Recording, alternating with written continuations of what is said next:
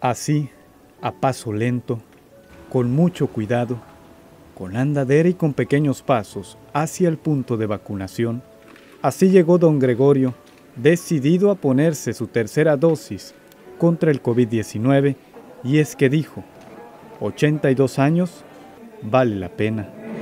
Calentura toda la primera vez, la segunda me sentí poquito, pero ya pasó ya tranquilo, y tranquilo. Pero vale la pena. Sí, vale la pena, sí, vale la pena. Por eso vendemos. En el Fuerte, Sinaloa arrancó la aplicación del fármaco de AstraZeneca para mayores de 60 años.